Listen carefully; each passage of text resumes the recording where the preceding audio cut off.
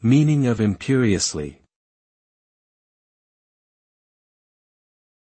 Imperiously. Imperiously. Imperiously. Imperiously. The word imperiously is an adverb used to describe someone who behaves in an overbearing or domineering manner, demanding that others obey them without question. When someone acts imperiously, they display a sense of entitlement and superiority that suggests they believe their needs and desires are more important than anyone else's. This can cause resentment and frustration among those who are subject to their demands.